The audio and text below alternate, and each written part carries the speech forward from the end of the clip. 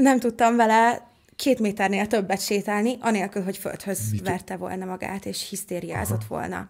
Sikított, kiabált, ugatott, körém tekerte a pórázt, maga volt a pokol. Nem tudtam, hogy szégyeljem magam, sírjak, mérges legyek, rá legyek mérges vagy magamra, vagy azért legyek mérges, mert valaki azt mondta, hogy nekem legyen most egy szamoédem. Neked ugatok. Korom Gábor podcastje kutyákról és emberekről. A tükörmódszer közreműködésével. Szervusztok, újra Neked ugatok podcast, és ma nem akárki a vendégem, itt van velem Emese, és Luna, és... Au Lenny. Lenny. Azt nem mondass ki velem, hogy Au Lenny. Léci, Lenny. Lenny. Lenny nagyon nagy szerelmem. Nem teljesen típusos uh, szavaéd. Egy irgalmatlan rossz csont, ő nagyon pici, nagyon pici kölyök. Luna, Luna viszont most már mennyi idős? másfél éves. Igen, igen, ő most 14 hónapos. 14 hónapos, Luna 14 hónapos. És Leni? Ö, ő most lesz 5 hónapos. Hát kérem szépen, a mai témánk ebből kifolyólag a szamoéd. Egy olyan kutyafajta, aki egészen különleges képesség kutya. Nem sok ilyen univerzális kutya van ami ennyi mindent tud, és, és ehhez képest ahonnan érkezik, ehhez képest majd sókutya a, a szamoéd. Emese, miért a szamoéd? Miért a szamoéd, és miért két szamoéd mindjárt a, a Luna után? Nagyon komplex komplex feladat volt kiválasztani a mi kutyánkat, mivel elsősorban ugye családi kutyát szerettünk volna. Én kutyákkal nőttem fel, három éves voltam, amikor a szüleim hazahozták az első kutyát, aki egy Rottweiler volt. Ezután pedig kettő darab német juhászunk volt, tehát én így nőttem fel. Mindig is nagy testű kutyáink voltak, és mivel ugye vidéken nőttem fel, Vajdaságban, ezért ezért ott ez egy teljesen normális dolog volt. Viszont miután elköltöztem Budapestre, és, és beköltöztem egy lakásba, rájöttem, hogy ha kutyát szeretnék, akkor nagy testű kutyát nem választhatok, mivel úgy gondoltam akkor, hogy hogy az én életstílusomhoz, az életvitelemhez sokkal jobban élik egy kis testű kutya. Én nagyon beleszerettem a csivavákba, és a pomerániai, pomerániai törpes piccekbe. Úgy, úgy döntöttem, hogy... Érdekesebb ez a történet. Igen.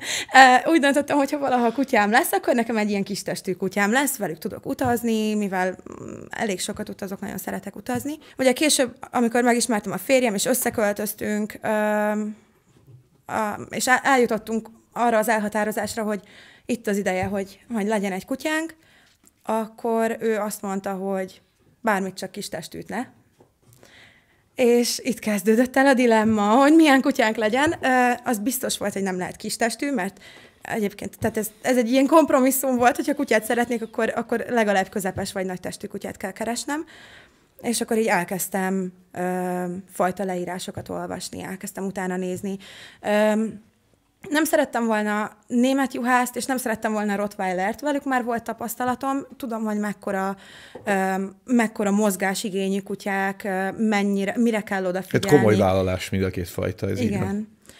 És ezért elkezdtem olyan kutyákba gondolkodni, akik inkább sókutyák, de, de munkakutya ként is megállják a helyüket. Miután elkezdtem nézegetni a, elkezdtem nézegetni a kutyákat és a kutyafajtákat, így a social médián így szembe jött velem egy videó egy utazó szamoédről. Um, és így, mikor ezt megláttam... Mi, mi az, hogy utazó szamoéd? Ez uh, csak a nézőknek, hogy értsük meg, hogy mit jelent. Jelenleg napjainkban a leghíresebb uh, szamoéd a social médián, az a Wanderlust szamoéd. Um, ő utazik a gazdáival több országban Bejárja járt a világot. Igen, több országban tehát, hogy alkalmas, járt már, tehát akkor az a flash, ember. hogy ő alkalmas az utazásra. Ez, ez ne, nem baj, ha nem kistestű, akkor is lehet vele utazni, akkor jól értem, ez, igen, ez igen. volt itt a tudati evolúció a fajta választásban, bocsánat. Uh, igen, és ez, ez, ez így elkapta az érdeklődésem, hogy, hogy ezt hogy, hogy lehet kivitelezni, mivel nálam ez soha nem jöhetett számításba, hogy például kargóban utaztassam a kutyámat. Uh, soha nem szerettem volna ennek kitenni őket, emiatt szerettem volna kistestű kutyát, és utána láttam, hogy ők egy teljesen más életet élnek, ők beülnek az autóba, vagy beülnek a kis kis terepjárójukban van nekik egy kis ilyen kombi járgányuk, és akkor ezzel utaznak Európában, meg, meg olyan helyekre, ahova autóval el lehet jutni, és ezt így nagyon érdekesnek találtam. És így elkezdtem érdeklődni a szamoédek után. Utána néztem, hát nem lehet letagadni egyébként, hogy gyönyörű kutyák, tehát így, így igazából nem, nem kérdés, hogy, hogy kinézetre mindenképp tökéletes lett Tehát volna. a, a, a pomerániaitól jött a fizimiska, csak felszoroztad százzal. Igen, igen, ez ilyen, ilyen arany középút volt. A nagy testű, de pomeránia is legyen. Amikor mondtátok, hogy jöjjek el, és beszéljek a szamoédekről, akkor igazából ez volt az első dolog, ami eszembe jutott, hogy az interneten nincs olyan leírás a fajtáról, ami tényleg elmondja, hogy mi mit jelent. Tehát van egy ilyen, hogy makacs. Mit jelent az, hogy makacs? Hát minden kutya lehet makacs, hogyha épp nem azt csinálod, amit ő szeretne. Ez, ez, ez egy teljesen más értelmet nyert, mióta, mióta szamoédjeim vannak. Ezen kívül ugye nem éreztem azt, hogy megkaptam azt az információt az internetről, akár magyar, akár külföldi oldalakról, ami, ami szükséges volt, ezért ugye elkezdtem tenyésztőket keresni, akik, akik szamoédeket tenyésztenek, és így rátaláltam, mm, igazából van egy old, weboldal, ahol listázzák az összes hivatalos magyar tenyésztőt, és elközül találtam kettőt-háromat, akik úgy, akik úgy szimpatikusak is voltak, és egyiküknél voltak is épp kis kutyák, akkor születtek. És felhívtam, elmondtam neki, hogy mi a helyzet, elmondtam neki, hogy mi hogy élünk, milyen, milyen életvitelt folytatunk, és hogy igazából... Mes- mesélte az utazó szamaéddel. Igen. Mondtam neki, hogy mi rengeteget utazunk, ugye két-három laki életet élünk igazából. Igen, mert hogy ti valójában Bécsben éltek. Igen. Onnan jártok kutyasuliba, az nem gyenge vállalás. Igen. Igen, tehát uh, onnan járunk ugye kutyasuliba, és ezen kívül ugye Vajdaságba is elég sűrűn utazunk a családomhoz. Így olyan kutya kellett, aki ebbe az, ebbe az ilyen nagyon szoros, nagyon mozgalmas életvitelbe belefér, és azon kívül tudunk vele családi programokat is csinálni. És cuki is. Tehát ez egy, ez egy nagyon fontos szempont volt. Mm, és elmondtam a tenyésztőnek, hogy ugye milyen, milyen a mi életünk igazából, és mondtam neki, hogy uh, mondja el nekem őszintén, hogy szerinte egy szamoéd ebbe az életvitelbe beleillik-e. És igazából neki erre annyi volt a reakciója, hogy a szamoédnek a legfontosabb az, hogy veled legyen. Mindegy, hogy a úton vagytok az autóban, mindegy, hogy a parkban, a füvön heverésztek, mindegy, hogy hol, de melletted legyen. És engem ez nagyon megérintett, mert igazából én egy társat szerettem ügyes, volna. Ügyes válasz. Kitérő, de mégsem, mégsem elkerülő válasz. Nagyon jó, nagyon jó. És engem ez, ez nagyon megérintett, és akkor azt mondtam, hogy visszahívom fél óra múlva, szólok a férjemnek, hogy akkor megyünk a kiskutyáért. um, és, és ez így nálam, nálam ez volt az, ami És ő lett akkor Luna? Ő lett Luna. Ő lett Luna. Igen. És, és hát azért ezt kimondhatjuk, hogy be is jött. Igen. Mert, mert Luna megtestesült álom, egy, egy készséges rendelkezésre álló. Na mondjad! Kezdjük. Igen, hát um, attól függ, hogy milyen állam, mert vannak olyan álmok, amik ilyen félig rémálom, félig jó álom, és így nem tudja eldönteni az ember, hogy most melyikben van. Uh, ilyen az életünk Lunával. uh, nem, szeretném, nem szeretném nagyon lehúzni, uh, de tehát ő mindenképp egy olyan kutya, aki, aki nagyon megmért engem. Uh, nagyon megmért nagyon sok, uh, nagyon sok módon. Uh, elsősorban én, én egy nagyon temperamentumos embernek tartom magam, legalábbis annak tartottam Szerintem magam. Most már a nézők is, meg a hallgatók is annak tartanak. Igen. Mióta Luna megérkezett, azóta nagyjából 100 fokot hűlt a, a vérmérsékletem.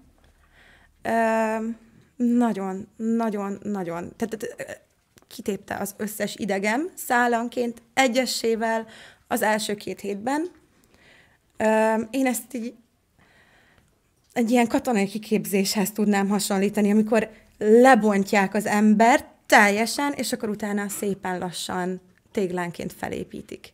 Ú, milyen képek. Ö, teljesen lebontott engem Luna. Ö, olyan szinten ö, kicsinált idegileg az első két hétben, hogy folyamatosan síró görcseim voltak. A kutya De nem mivel? csinált. Tehát mi, mi, volt ez a, mi volt ez a terhelés? A kutya egyszerűen nem csinálta azt, amit én szerettem volna, hogy csináljon, és ez én soha nem neveltem fel egy kutyát kölyök kora óta. Különösen nem három-négy hónapos kora óta. Ö, és nem tudtam, hogy mire kell számítani. Azt hittem, hogy tudom, de nem tudtam. És én mm, azt hittem, hogy amikor, amikor elkezdem a kutyát nevelni, akkor az automatikusan bevésődik az ő agyába, hogy ezt elkérte tőlem, ezt megcsináltam, ezért jutalmat kaptam, akkor ez, ezután mindig így fogom csinálni. És kiderült, hogy ez nem így néz ki. Egyáltalán nem. Az első nap, amikor hazahoztuk, megtanul, megtanítottam neki az ül, fekszik, áll, pacsi. És öt perc alatt megértette a kutya, hogy mit szeretnék. És így, úristen, nekem ilyen okos kutyám még soha nem volt. Öm, és igazából, igazából ez egy kicsit így ilyen, ilyen álomba ringatott. Elhittem, hogy mindent így fog megtanulni. Ö, Ő az első kutyám, akivel kutyaiskolába jártam. De a kutyaiskolán csak ezután jön, tehát még nem Igen, tartunk a igen. kutyaiskolán, még csak az első napoknál tartunk. Igen. Tehát ott tartunk, hogy, eh, hogy volt egy álom, hogy lesz egy álom kutyád, aki, aki megérte, mit akar, szót fogad, és az első flashed az az, hogy hát elképesztő gyorsan tanul, idáig, idáig teljesülni látszik az álom. Igen, úgy, ke- úgy keveredtünk egyáltalán, úgy jött fel az ötlet, a kutyaiskola ötlete. Alapból már játszottam az ötlettel, de elvittem sétálni az első pár napban. És a járókelők mindannyian oda voltak, mindenki megállított, úristen, ez milyen kutya, úristen, ő nagyon cuki, öm, ő egy plüsmaci. És így két perc múlva mindenkinek az volt a reakciója, hogy szerintem vidd el kutyaiskolába nem tudtam vele két méternél többet sétálni, anélkül, hogy földhöz Mit- verte volna magát, és hisztériázott Aha. volna. Sikított, kiabált, ugatott, körém tekerte a pórázt, tehát maga volt a pokol. Nem tudtam, hogy szégyeljem magam, sírjak, mérges legyek, rá legyek mérges vagy magamra, vagy, vagy azért legyek mérges, mert valaki azt mondta, hogy nekem legyen most egy szamoédem. És hát igaz, igazából erre egy nagyon jó példa az, az volt, amikor azt hiszem, hogy négy napja volt velünk, és akkor azt mondtam, hogy ezen változtatni kell most azonnal, és akkor hívtam fel az iskola vezetőjét, és beszéltem vele, és mondta, hogy jöjjünk el egy oviba. Ez melyik suli volt? Ez a hajógyári. Tehát ez már Magyarországon. Volt. Igen, igen. igen. Egyébként miért Magyarországon? Miért nem, miért nem Bécsben? Ausztriában nem annyira elterjedtek a szamoédek, és ezen kívül ugye nekem egyszerűbb volt magyarul lekommunikálni ezeket a dolgokat, ezért választottunk magyar tenyésztőt, és sokkal könnyebben utána tudtam járni a dolgoknak itt Magyarországon, mint Ausztriában. Akkor még nem éltem olyan régen Ausztriában sem, meg ugye kutyául tanulni egy idegen nyelven még háromszor olyan nehéz. teljes mértékben aláírom. Meglett akkor, meglett akkor a, a, a választás, döntés, hogy akkor kutyasuli, mi történik? Tehát, tehát ott tartunk, hogy Luna, Luna borzolja az idegeidet, kiválasztottad a kutyasulit, hogy folytatódik a sztori. Én, én, én ismerem már a végét, jaj, de jó lenne egy picit felkönnyíteni a kedves nézőket, de, de hallgassuk a, a, a, a sztori vonalat. Igen, a végéig nagyon hosszú út vezetett, és nagyon rögös út. És szerintem ezt, ö, a, aki szamoidet szeretne vállalni, ez, ezzel mindenképp számolnia kell, mert számolni kell azzal, hogy nem tudsz számolni mindennel. Igazából ott az elején konkrétan sétálni nem tudtam vele, nem volt rá módom, hogy hogy fárasztam le a kutyát. Elindultunk az első oviba, oda-oda is értünk. A második oviba már nem értünk oda, mert a kutya félúton földhöz vágta magát, és nem volt hajlandó tovább menni. Ö, ilyen 27-8 fokos meleg lehetett akkor már, legalábbis én annyinak éreztem, mert a 10, 10 és fél kilós kutyámat karban kellett cipelnem a kutya oviba. Azt a. Ö, és akkor leültem egy padra, és kitört belőlem a sírás. olyan szinten sírtam, mint még életemben előtte soha. Az volt nálunk a töréspont. Oh. És oda jött egy srác, elteket mentünk biciklivel, és így meglátott minket, és oda jött, hogy Úristen, ez egy szamoid, én mindig egy szamoidet szerettem volna. Az Isten küldött téged. Közben csorgott az arcomról a könyv, a verejték, és így csak ennyit tudtam neki mondani, hogy könyörgöm, ne, ne, csak szamoédet ne, ha jót akarsz magadnak. Um, Igazából most nagyon szeretnék már beszélni ezzel a sráccal. Nagyon, nagyon szeretném megtalálni, hogy egy kicsit hát, kifejtsem neki hát, a dolgokat. ha a Samoyed podcast felkelti az érdeklődését, hát ha meghallgat minket. Reménykedem benne. Tegyük fel, akkor mondd el neki akkor a folytatást. Samoyedet, de feltétellel. Mm, én, én azt gondolom, hogy azok, akik már ezt a podcastet hallgatják, azok már jó, jó úton haladnak a felé, hogy, hogy megismerjék ezt a fajtát. Az már nagyon jó, hogyha az emberek elkezdenek komolyabban utána nézni ennek a fajtának. Amit a szamoédről tudni kell, tehát a fajta leírásban, amit leírnak az, hogy családbarát, kedves, tele van szeretettel,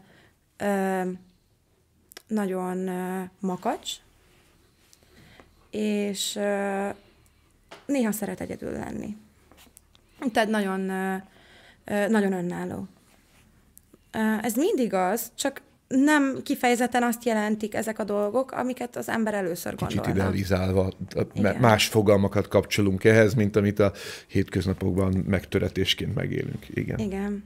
Nagyon sokan úgy gondolják, hogy a makadság egy szamoédnél az azt jelenti, amit így az emberek így online videókban látnak, hogy a gazdi húzza a szamoédet, a szamoéd leteszi a fenekét, és és nem megy arra, amerre a gazdi szeretne.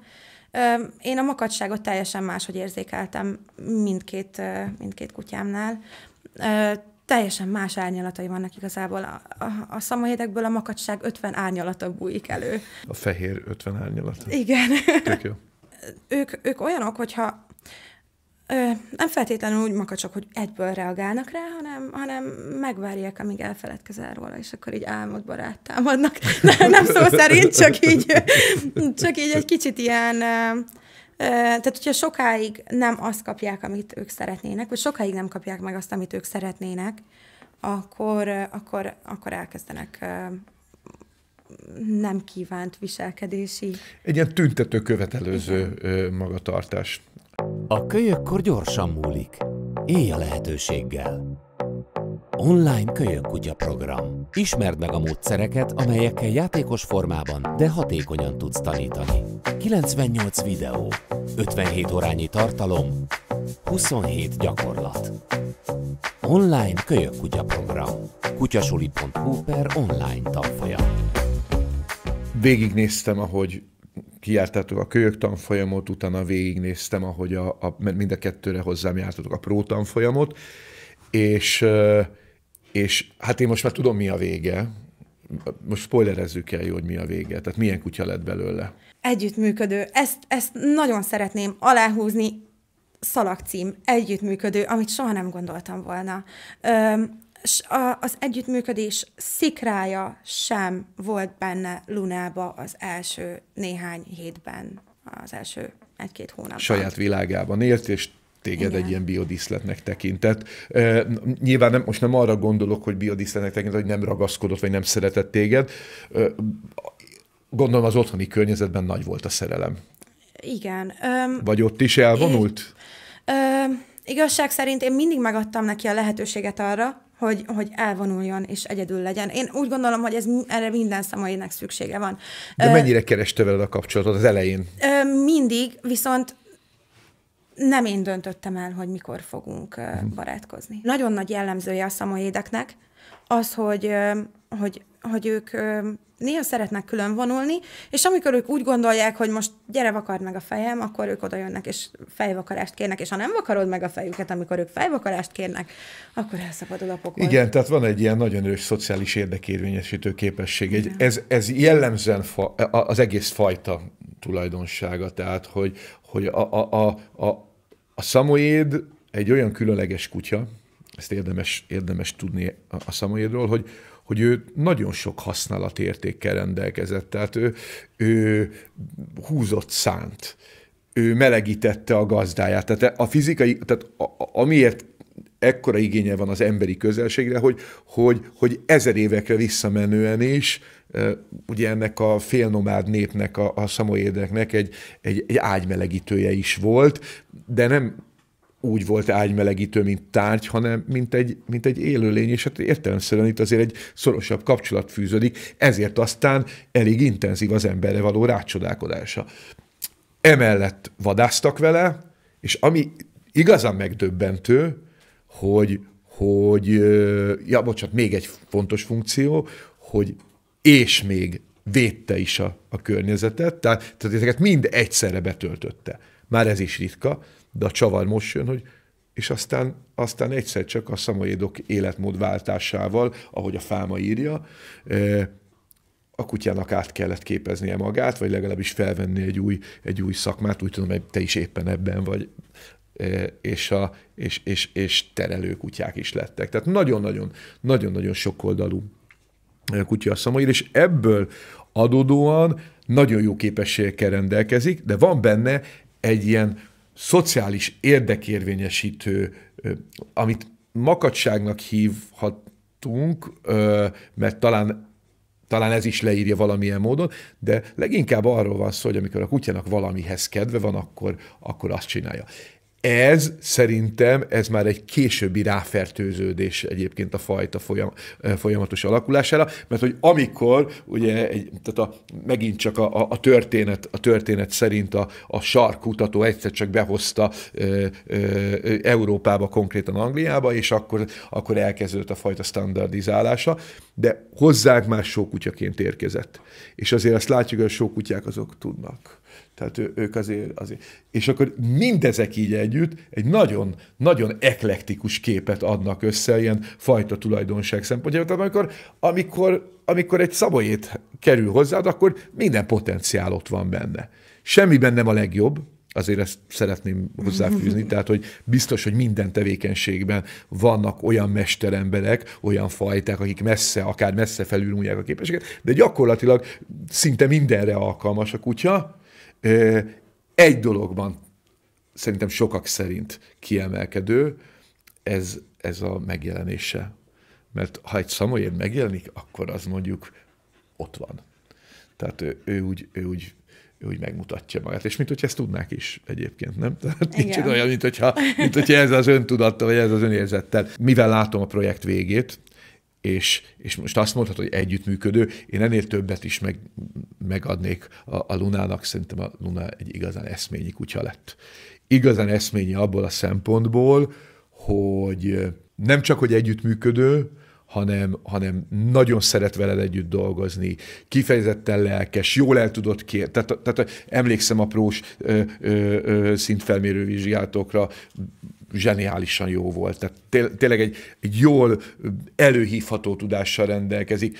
Segíts nekem, nekünk mi volt a fordulópont? Tehát, hogy, hogy ez mikor változott át gyökeresen? Aztán erre lesz majd még egy csavarunk. Igen, szerintem am, ami nagyon sokat változtatott ezen az, hogy elsősorban én is ráébredtem arra, hogy mivel az ő múltjuk, az ő elődei ennyire sok mindennel foglalkoztak, a szamoédekkel szerintem mai napig is nagyon-nagyon sok mindent kell csinálni, nagyon, ö, nagyon sok különböző csatornán ö, ki kell meríteni őket. Ö, mentálisan, fizikálisan, de, de fizikálisan is három különböző kép. Tehát néha tudunk sétálni 16 kilométert, és utána még kell neki egy játék. Tehát ö, egyszerűen ö, annyira sokféleképp, és nagyon nagy, a mentális stimuláció nagyon nagy szerepet játszik abban, hogy ő, hogy ő, hogy ő kifáradjon, és hogy egy kicsit lelassuljon, és együttműködő legyen.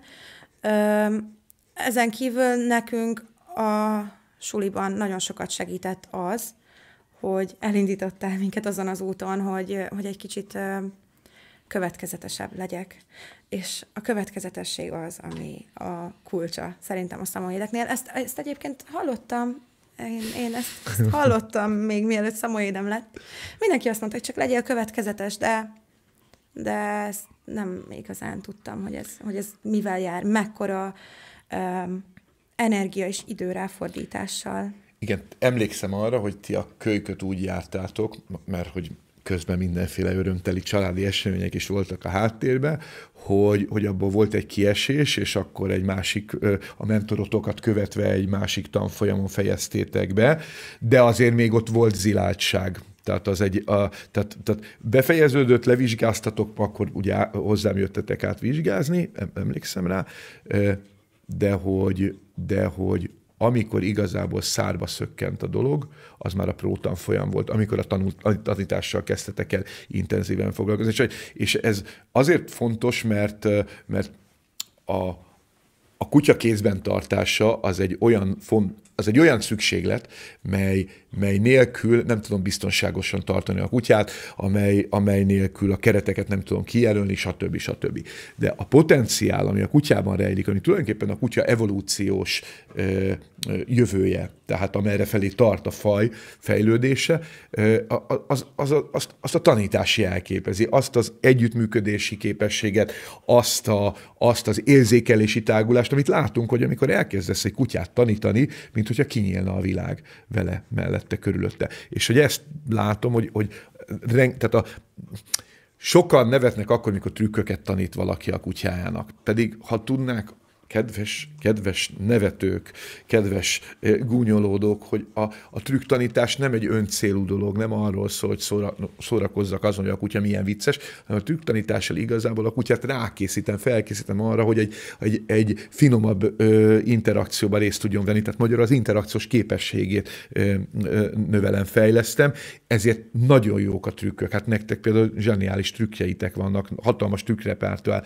Mesélj egy picit a taníthatóságról, és arról, hogy akkor, amikor, amikor ö, rendeződött a, a, a kézben tartás, a kiszámíthatóság, akkor, akkor viszont mi nyílt meg. Tehát mi az, amiben mondjuk a, a, a kutya, ér, tudom, hogy rengeteg munkát tettél bele, el is mondtad, és, és arra is felhívod a figyelmet, felhívod a figyelmet, hogy aki ezt a fajtát választja, az álljon készen erre a kihívásra. Jó, de rakjunk azért oda egy, egy ilyen, egy ilyen ideát a végére, hogy azért, azért hova lehet eljutni, hogy érzed most magad vele, mit látsz most a, az együttműködésetekben, hol tart a kapcsolatotok, milyen potenciál bontakozott ki, stb., ami eszedbe jut. Potenciál kérdésből én úgy, úgy érzem, hogy még mindig nem jutottam el arra a pontra vele, ahol azt mondhatom, hogy kész, ennyi, ennyit bírt a kutya végtelen. Tehát egyszerűen olyan, olyan szinten érzem végtelennek a potenciáját, olyan szinten érzem azt, hogy gyakorlatilag bármit tudok vele csinálni,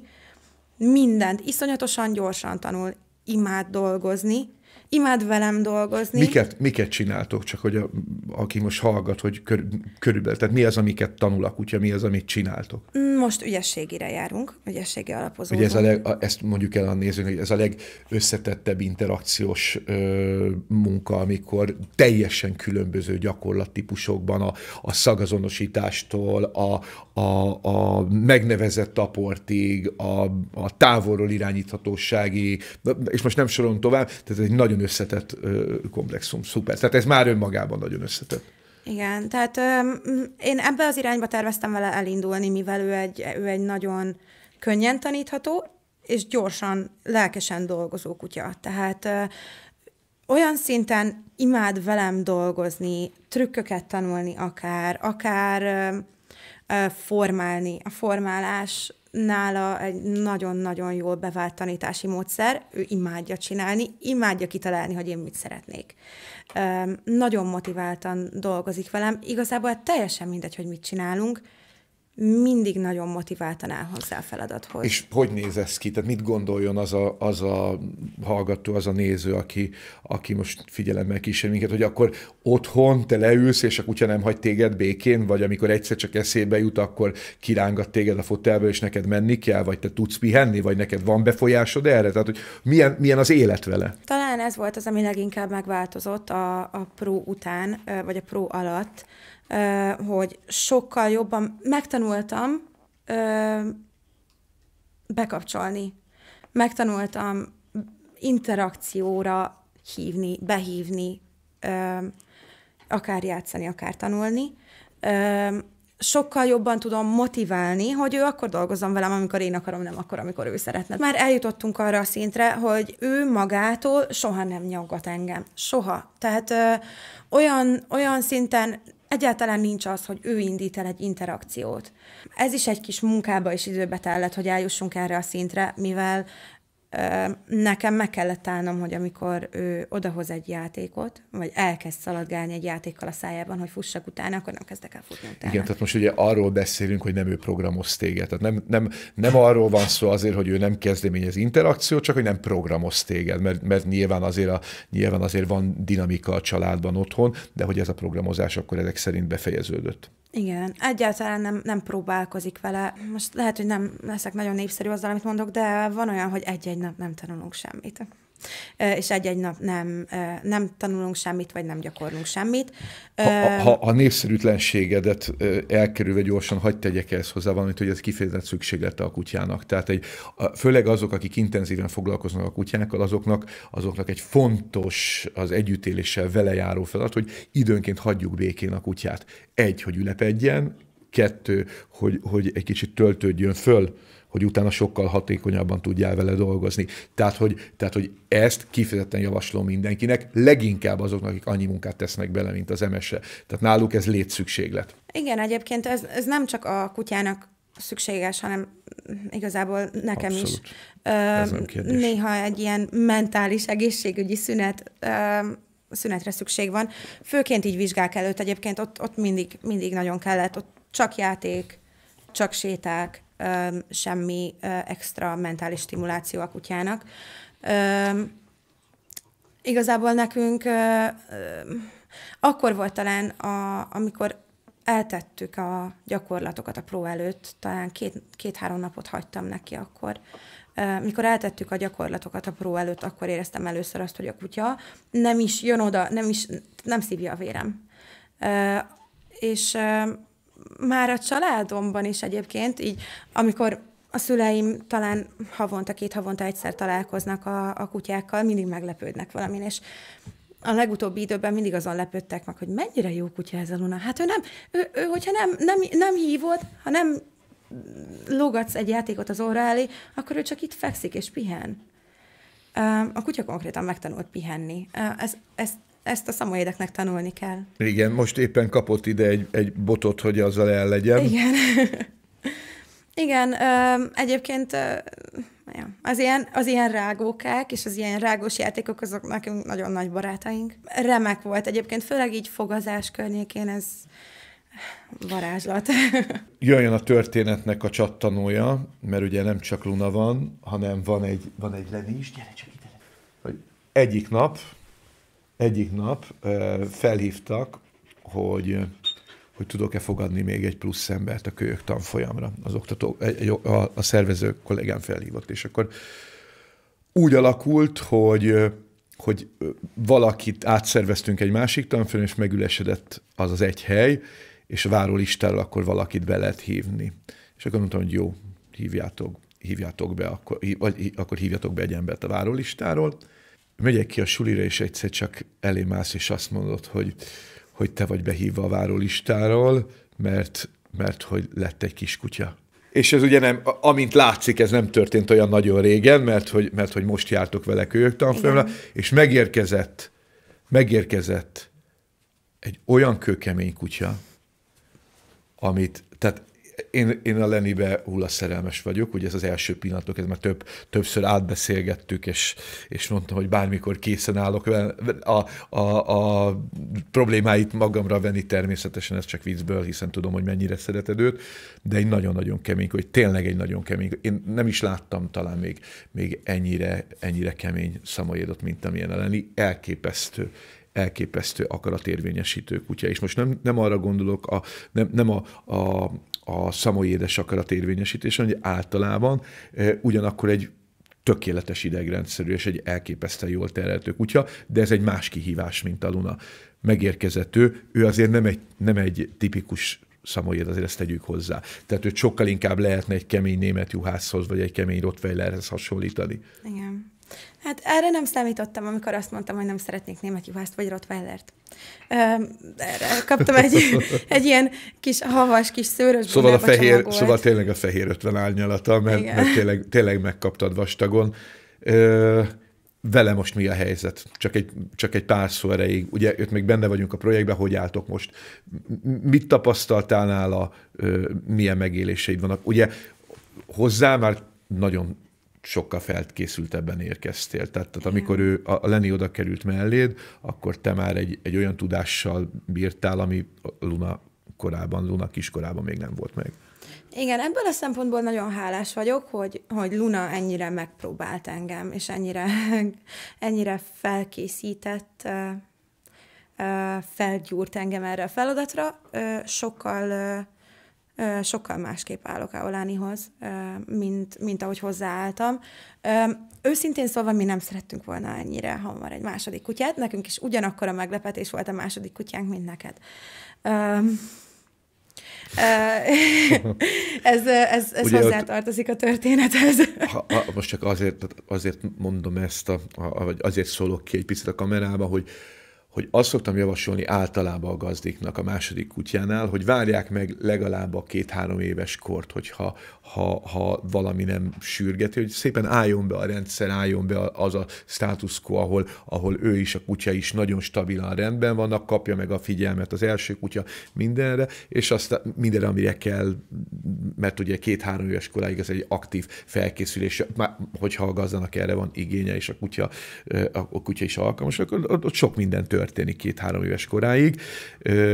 Mm, ehhez képest szoktam ellen javasolni azt, hogy még ne vegyenek ennél korábban a gazdik magukhoz második kutyust, nem lebeszélni, inkább csak javasolni. Igen, én meg is kérdeztem tőled egyébként ezt, amikor végeztünk a prón, hogy szerinted lehetne egy második kutya most már, mivel akkor költöztünk kertesházba, akkor már úgy gondoltam, hogy Lunának is, mivel annyira egy szociális kutya, annyira imádja a másik, tehát annyira imádja a többi kutyát, hogy úgy gondoltam, hogy mi lenne, ha lenne egy saját kutyája, és igazából így emiatt játszottunk el a második kutya gondolatával. Fel is vettem a kapcsolatot a tenyésztővel, akitől Lunát elhoztuk, mivel én úgy gondolom, hogy egy, egy szamoéd és egy jó idegrendszerű szamoédhez a legelet, legelengedhetetlenebb első lépés az, hogy felkeressen az ember egy jó tenyésztőt, aki ugyanúgy foglalkozik velük a szocializációval is. Ez egy olyan, ez egy olyan fontos, olyan fundamentális ö, feltétel, főleg nehéz fajták esetében, hogy egy jó szocializációt, és ugye a tenyésztőnél minimum két hét, mert, mert ugye ha, ha azt mondjuk, hogy hat hetes kortól hat hónapos korig tart a szivacs korszak, amire ugye például a kölyök tanfolyamot is fejlesztettük, tehát, hogyha ide, ide lőjük be azt az, azt az intenzív, formál, formálódó időszakot, amikor a kutya nagyon jól, nagyon jól kialakítható, nevelhető, a leghatékonyabban ebben az időszakban, akkor ebből minimum kettő hét ugye még a tenyésztőjére van, aki eleve később adja ki. Te mennyi idősen kaptad meg őket? Ö, már 12 hetes volt. Tehát 12 het, igen, tehát akkor,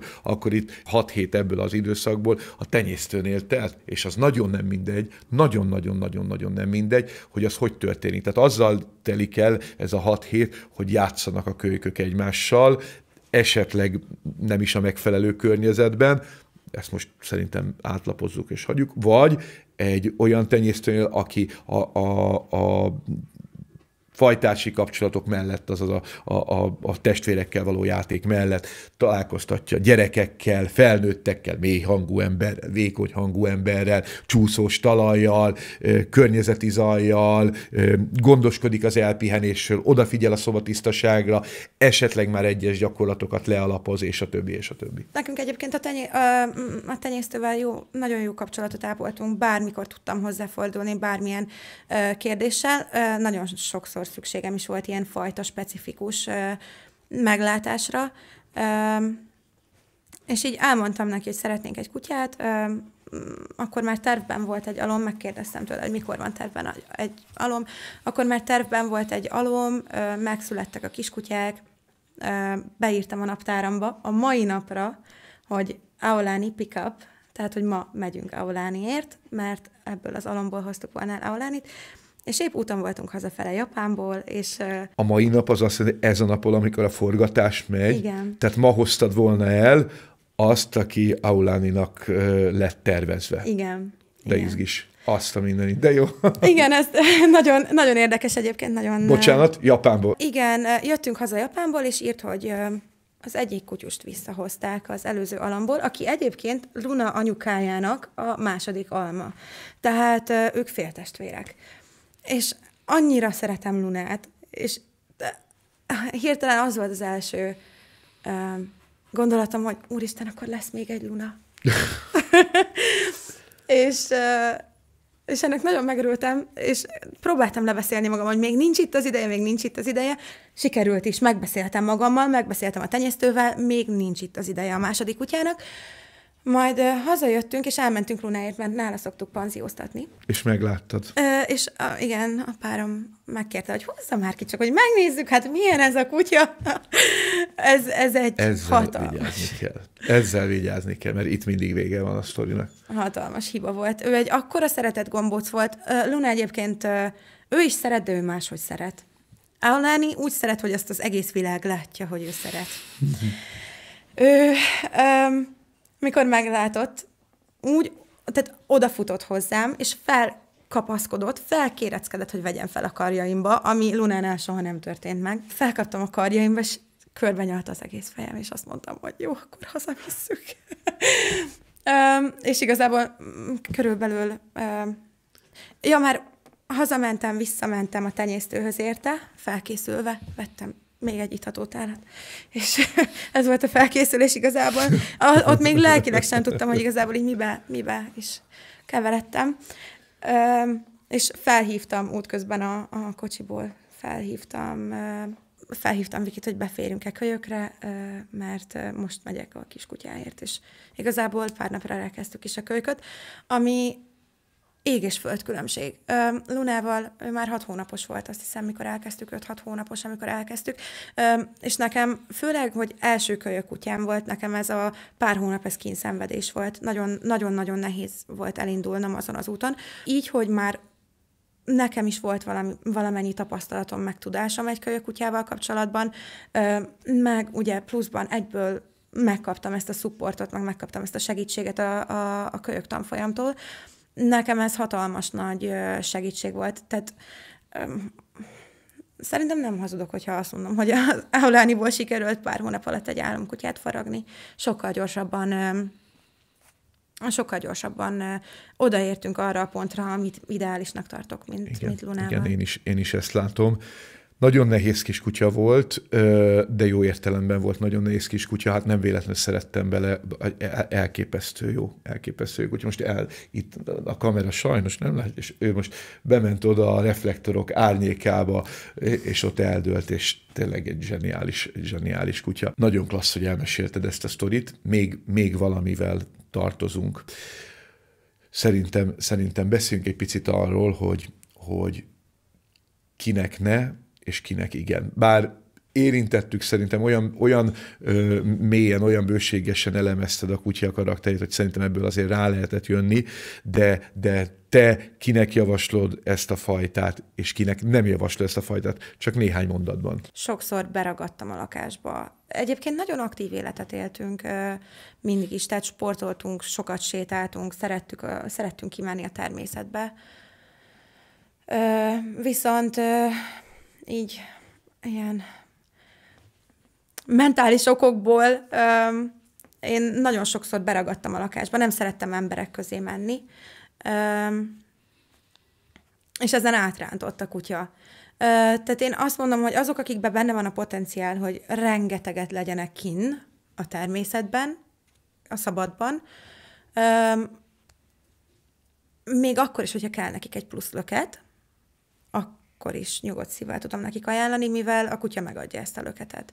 Tehát nekem mindenféleképp egy olyan életvitel, életminőségbeli váltás volt a, Hú, de jó. a kutya megérkezése. Nagyon, nagyon jó, hogy mondod. Egyébként nagyon örülök neki, hogy ezt, ezt, e, ez az ajánlásod első eleme, mert, mert általában a kutyát tervez, tehát azt mondjuk, hogy a tudatos gazda tervezi. Igen, tervezzük, de azért vannak olyan elemek, amiket nem lehet tervezni. Vannak olyan elemek, amelyek egyszerűen ö, sorsszerű elemek, és jellemzően ezek az igazán sorsfordító ö, ö, dolgok. Tehát amit nem és például az, hogy a kutya kivisz téged, és, és ő kapcsolatokat vezet el, élményekhez, felfedezés, ez, ez, ezeket nem lehet megtervezni. Igen.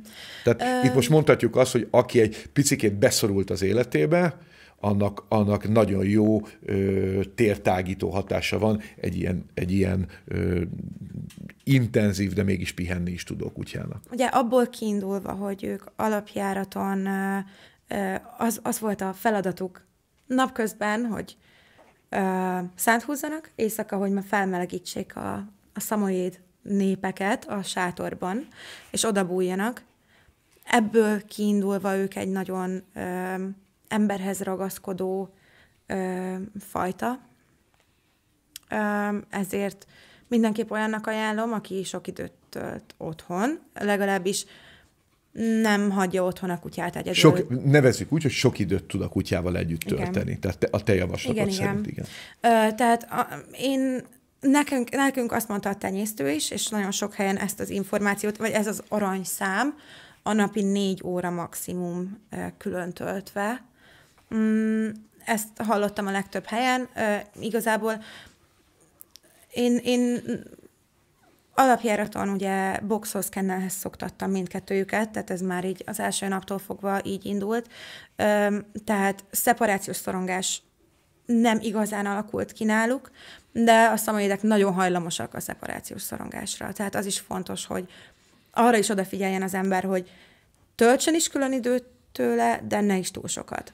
Tehát meg kell találni ezt az arany középutat. Mindenképp ajánlom őket olyan embereknek, akik szeretik a figyelmet. Nekem ezzel, ezzel nagyon nehéz volt megbirkózni, mert amikor az ember elsétál az utcán egy szamoéddel, biztos, hogy legalább ketten megszólítják, a kölyök az pedig egy tízszeres szorzó. Egy kölyök Nagyon jó. Nagyon jó. Egy kölyök számai. Ez olyan, mint a, hát ugye nem meglepő módon van kötődésem a, a, a, a motorokhoz is, és hát ugye a motorok között van ez a, ezek a chopper nevezetű járművek, amelyek, amelyeknek például nem titkoltan az egyik szerepe ez, hogy nem annyira a praktikum, meg nem annyira, hanem az, hogy a, hanem hogy megnéznek vele. És hát tetszik, nem tetszik, a kutyáknál is vannak ilyen jellegű, ilyen jellegű ö, minőségek, hát a Samoyed biztosan az egyik leginkább ilyen, ilyen a környezet figyelmét magára vonó jelenség. Egyébként remek kutyák, hogyha jól viselkednek és, és jól neveltek, akkor, akkor, akkor az még többet dob rajta, mert van egy olyan megjelenésük. Uh, igazság szerint, amikor, amikor nem jól viselkednek, vagy nem, hanem még mielőtt elkezdett működni a kézben tartásunk, akkor, akkor nekem iszonyatosan iszonyatosan szorongtam. Kellemetlen volt. Igen. Kellemetlen volt, hogy rajtad a figyelem, a kutyával nem bírsz, tehát, hogy nem, nem lehet szépen csendben a kertek alatt el, elsuhanni, hanem, hanem mindenki titeket néz. Tök jó, nagyon jó, nagyon jó, amit um, Kinek, kinek nem ajánlod még egy, még egy ilyet, és aztán utána én is egy pár, pár dolgot még hozzáfűznék majd az ajánlásodhoz. Elsősorban nem ajánlom olyannak, akik ölebet keresnek, ami vicces, hogy ez pont tőlem, pont tőlem származik ez a mondat. Hát ugye ez volt a, a, a te tudatosítási út, utat, ez az útbejárásod, hogy onnan indulsz, és akkor hova nőttél fel. Én ezt végignéztem, tehát ez most a, nagyon nehéz ezt szavakban visszaadni, hogy, hogy a, a te következetességben, figyelmedben, jelenlétedben beállt változás mekkora volt, amióta megismertelek a kutyával. Tehát, hogy mennyire, mennyire konc, mennyivel koncentráltabb lettél, ezt igyekeztem a végén meghálálni, ugye, ugye kaptál is egy, egy, egy olyan lehetőséget, amivel éltél, hogy, hogy egy picit közelebb kerüljél ehhez a, ehhez a hivatáshoz, vagy rá tudjál nézni. Nem ajánlom azoknak az embereknek, akik 0-24-ben össze szeretnének ragadni a kutyával, vagy hogyha azt szeretnék, hogy egyfolytában a, az ölükben, vagy, vagy mellettük, alattuk, körülöttük legyen a kutya. Én azt mondom, hogy szeretem megadni nekik a lehetőséget arra, hogy elvonuljanak. Nagyon örülök neki, hogyha körülöttem vannak. Nagyon, nagyon jó egyébként, főleg télen, amikor fázik az ember lába. Iszonyatosan jó. de, de szeretem nekik megadni azt a, azt a kis én időt, amikor ők el tudnak vonulni külön és pihenni. Erre nagyon szüksége van egyébként az idegrendszerüknek is. Hogyha az ember nem hagyja őket pihenni, akkor olyanok, mint a csecsemők elkezdenek úgy viselkedni a csecsemők, egy ilyen, egy ilyen fáradt, dacos, mm, hisztis kutyát igen, kap az igen, ember. Igen, igen, egy ilyen, egy ilyen kényszer figyelmi, figyelemgenerátor. Én is hozzátennék azért egy, egy pár szót ehhez. Mostanában az egyik legnépszerűbb fajta. Nagyon sokkal járnak a, a, a kutyaiskolára, nagyon, nagyon sok szamoéddel összetalálkozunk, és, és tényleg egy, egy olyan jelenség, ami, ami messze kírja a környezetéből. Sajnos ebben rejlik a csapda, mert hogy, mert hogy sokan nem kutyaként tartják, hanem, hanem egy ilyen, egy ilyen mobil plusz játékként, mikor nem azok, tehát a, a nagy energiájuk, a nagy energiájuk az teljesen ellentmond a megjelenésükkel. Aki készen áll arra, hogy ezen a, ezen a kognitív diszonancián átlépjen, hogy ez nem plusz játék, hanem ez egy kőkemény kutya, abban az értelemben kőkemény kutya, hogy, hogy, hogy szükségletei vannak, munkaigény, stb. stb., annak ez egy nagyon jó kutya lehet ne reménykedjen, ne, azt javaslom, hogy ne reménykedjen senki abban, hogy, hogy, hogy magától fognak megoldódni problémák. Nem egy, nem egy olyan kutya, tehát ez a kutya utazik a lehetőségeken, főleg a szociális tér következetlenségein, e, és érzékeny is erre, és gyengíti ráadásul a kutyát. A gyengíti az azt jelenti, hogy, hogy ez a, a, a viselkedés problémákon keresztül akár fizikai megbetegedésig is visszaérhetnek. Tehát kell egy következetesség, kell egy határozottság, hogy a, hogy a kutya karaktere e, e, egy, egy igazi kutya karakter legyen. Tehát ne egy, ne, valóban ne egy ilyen, egy ilyen figyelemgenerátor hisztigép legyen belőle. Ez talán, ez talán a legfontosabb ajánlás. Illetve, illetve azért még a fajtához érdemes megjegyezni azt, hogy vannak-e típus betegségek, te miről tudsz, tehát így, így a, azokban a körökben, mert gondolom, hogy azért te követed, követted a, a, a, a szamoédesek különböző felületeit, hogy mit lehet látni, mik a típus betegségek. Ugye ír az internet is néhány ilyen betegségről, te mit tudsz? A szamoédeknél a csípő és a, és a könnyékdiszplázia, amik, amiket így minden, mindenhol megemlítenek, és talán a szemük is érzékenyebb. Vannak szemproblémák is? Uh, igen. Én nem nagyon láttam még szemproblémás szamoédet, um, de ezek szerint Elvégeznek van. szűréseket egyébként mm. erre. Um, de ezen kívül, ami, ami szerintem leginkább egy, egy laikusnak, vagy aki most épp szamoédet keres, ami a leginkább érdekes, az az, hogy a szőrük alatt, tehát a bőrük egészségét nagyon uh-huh. fontos. Nagyon fontos odafigyelni a higiéniára és a, és a kozmetikázására, úgymond a kutyának ez mit jelent, hogy, hogy odafigyelni? Tehát, hogy a, mielőtt elkezdett forogni a kamera, megkérdeztem, hogy mi ez a fekete csík a Luna, Luna fején, és akkor elmesélted, hogy hát ez a fekete csík, ez a, akkor született, mikor éppen a szőrét egy picit felfrissítették a, a, a kozmetikába, és a, amikor kijött, akkor hozzádörgölött egy olajos felülethez, és most bele is ragadt a szőrbe. Igen. Tehát akkor ebből következik, hogy, mert, ja, ja, mert bocsánat, a történet lényege az, hogy ugye a, a, emiatt, mert hogy akkor a friss, tiszta szőrbe ragad bele, azért most kevésbé peleg le róla, de ugye ebből következik, hogy jártok kozmetikába. Ez hogy kell elképzelni? Tehát a leendő szamoyét tulajdonosnak mit kell gondolni, milyen időnközönként kell kozmetikába vinni, milyen jellegű kezelést kell kapjon? A szamoideknek nagyon hálás szőrük van egyébként. Van egy ilyen, úgymond, védőréteg rajtuk, aminek köszönhetően lepereg róluk a kosz. Tehát én, amikor elmentünk Lunáért, akkor hoztuk magunkkal a csapatót is. Ez egy vízki csapató, egy ilyen kutya hajszárító, úgymond, egy ilyen erősebb hajszárító, amivel konkrétan ki tudom, tehát elég azzal átfújni, és ez mm, ki is fésüli a szőrét, és ki is fújja belőle a portkoszt, ami egyébként nagyon hasznos, főleg, hogyha esik az eső, vagy, vagy ilyen, ilyen csúnyaságok beleragadnak neki. Fésülni kell, Um, kozmetikába egyébként én nagyon sokat kozmetikáztam őket otthon, ami egy nagyon bátor, nagyon bátor vállalkozás. Én szerintem érdemes elvinni kutya kozmetikába őket.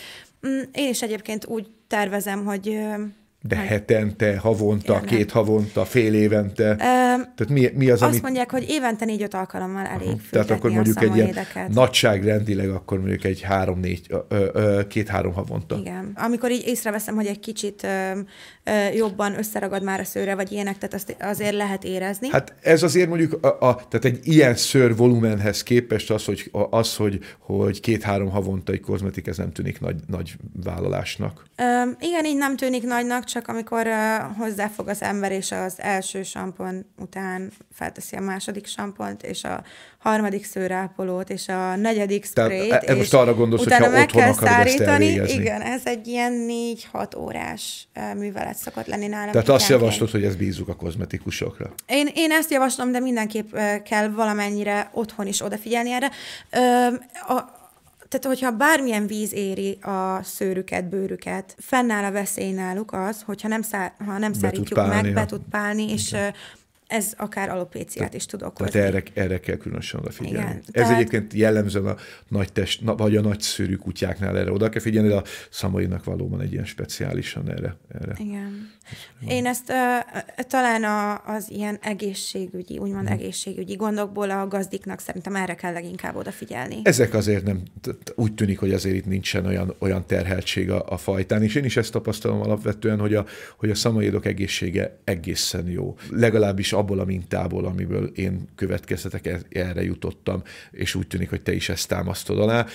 Hallottam még cukorbetegséggel való hajlamról, de, de az én praxisomban kevésbé találkoztam ilyen jellegű problémával és rosszasságra viszont nagyon sokkal, most nem látjátok, de Luna éppen a, a kábelek lerögzítését kezdi el felszedni, konkrétan a ragasztó szallagot, mert úgy gondolta, hogy a kábelek máshol kéne futnia. Ha már kábel, akkor, akkor egy sztori, ezt egyébként még visszavezetném ahhoz, hogy a szamoédeknél soha nem tudja az ember, hogy igazán mire készüljön.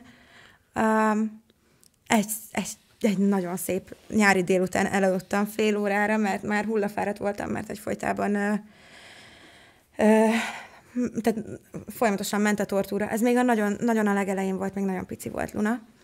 És fél órára kidőltem délután, és arra keltem fel, hogy ö, Luna bement a fürdőszobába. Egy ilyen fürdőszobabútor alól, ahol ennyi hely volt a padló és a fürdőszobabútor között, kihúzta a párom kis utazós táskáját. Jaj. Abból kihúzta a párom ö, elektromos borotva töltőjét. És ezt szétrágta, és darabonként lenyelte, majd körbehányta a lakásban. Uh.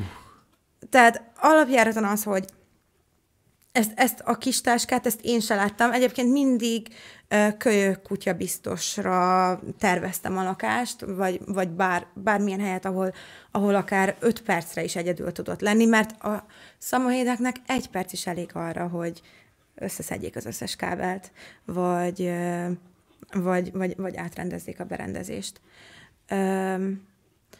És konkrétan fél óra leforgása alatt ő ezt megtalálta, amit én, én, én sem találtam meg. Megtalálta, megtalálta ebben a kábelt, és szétrágta a kábelt, egy ilyen telefon zsinór, ilyen Igen, egy spirális ilyen kábelről volt szó, és igazából egy fél méter hiányzott belőle. Tehát ha. ilyen számomra ez ilyen teljesen szürreális dolog hogy volt. Miért mert... teszik kábelt egy kutya? Igen ne, nem tudtam megérteni. Ez egy olyan dolog volt, amire soha nem számítottam volna, hogy az én kutyám bemegy, egyébként csukva volt a fürdőszoba ajtó, tehát ezt több belökte, bemegy a pont a fürdőszobába, pont, tehát nem értettem, hogy hogy jut egy, egyáltalán oda a kutyám, hogy ő most pont ott, pont akkor pont azt keresi, és pont megtalálja, és pont szétrágja.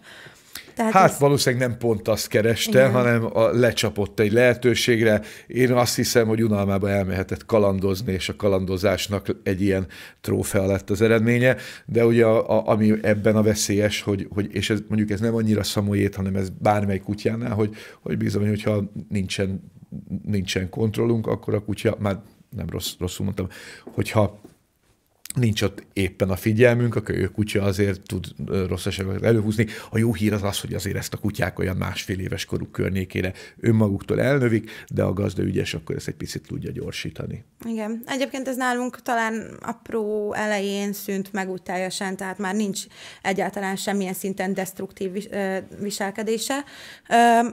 Érdekes mód Aulánénak pedig soha nem is volt.